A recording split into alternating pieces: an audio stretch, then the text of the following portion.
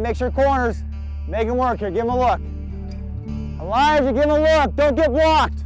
I mean, definitely kind of uh, changed uh, my perspective and kind of changed my world upside down. And you, you kind of don't know what to really what to do and how to act. Marc is back on the field after being diagnosed with rhabdomyosarcoma, a rare cancer that usually affects children under the age of 10. The doctors, when I was first diagnosed, they didn't know much about it, and so they didn't give me much like hope uh, to beat the thing initially. And nobody took the news harder than Marc's sister, Michelle. It was probably the worst day of my life, um, our family's life, really.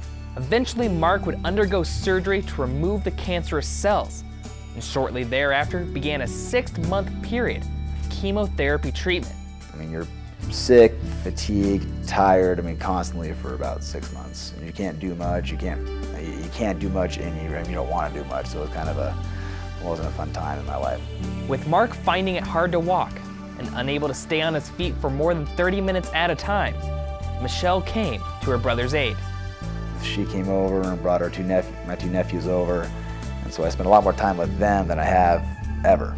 You are just completely, you just feel completely helpless, and you're watching your brother go through chemo treatments and what that does to his body and his frame of mind, and then and then the radiation. Nothing's guaranteed. You never know what's going to happen. So it kind of uh, got us back down to reality that hey, we got to enjoy each other, and kind of family comes first, and whatever happens after that happens.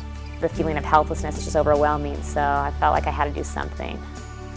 That something would eventually become the Ramstrong Foundation, a fund that assists Fort Collins residents that are battling cancer. My brother was reading the Lance Armstrong book at the time, It's Not About a Bike, and he was very inspired. That was, I think, the first thing that he read that gave him hope. So then I read it.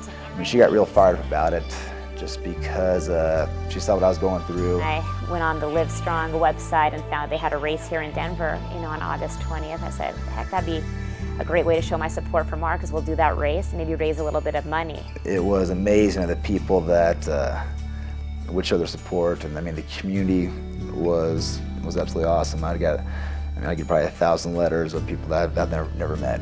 And then it just you know snowballed, and so many people wanted to get behind it and show their support. But um, that's really really stemmed from me just feeling helpless watching my younger brother go through this experience and there was nothing I could do to protect him. Ramstrong to me is just our chance uh, to make a difference and fight this disease. With Marc's cancer in remission and Ramstrong thriving, things are going better than anyone could have ever hoped.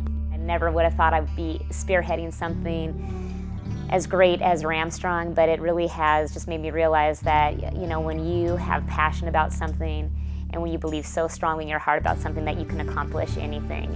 Coaching was my whole deal, my whole life, and just kind of living to coach and getting consumed with that and not worried about anything else. And this kind of shows you that, hey, there's more important things in this world than coaching football.